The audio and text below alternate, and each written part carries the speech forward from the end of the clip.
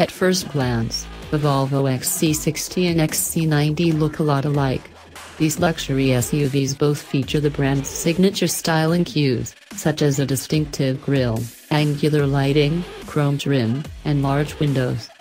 The XC60 is fully redesigned for this year, and the XC90, which was last redesigned for 2016, gets some desirable new standard features.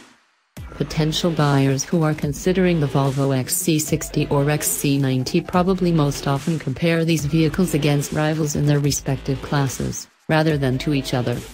However, we found that these siblings have more in common than not, which complicates the choice between a compact and mid-size SUV from within the same family.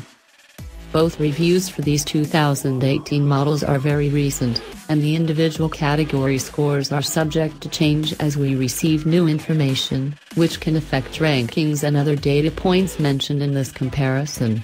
Now, Let's take a closer look at these Volvo SUVs to figure out which one is the better option. Not all SUVs are created equal. They come in different shapes and sizes. However, these days, many have similar advanced safety features in the form of lane departure warning, blind spot monitoring, automatic pre-collision braking, backup cameras, and more. The following vehicles are the 10 SUVs with the highest safety scores on US News and World Report's site. Some of the SUVs in this slide show even boast the aforementioned